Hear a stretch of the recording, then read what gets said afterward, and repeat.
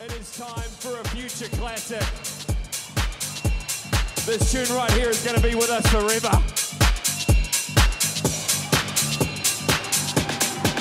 Here we go.